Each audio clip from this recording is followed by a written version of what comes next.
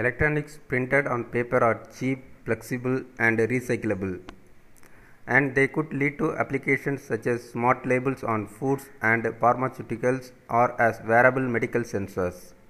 Many engineers have managed to print transistors and solar cells on paper, but printing memory of smart device on a paper was missing. Now, a group of researchers from Taiwan has developed a method that uses inkjet technology to print working memory on an ordinary paper.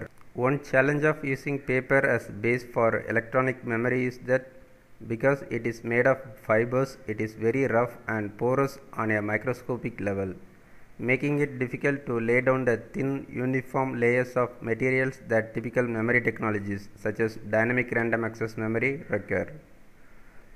To get around this problem, the developers of the new printed memory decided to build resistive random access memory, a relatively new type of memory with a structure simple enough to cope with such surface variations.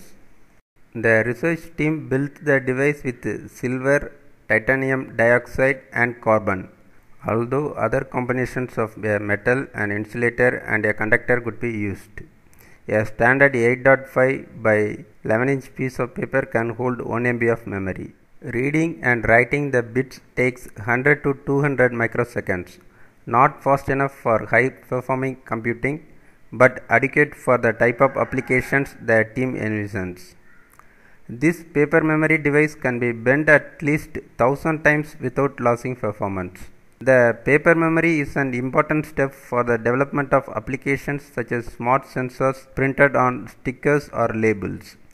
Researchers are also developing flexible electronics based on polymeric materials, but the paper based devices may be cheaper and easier to recycle.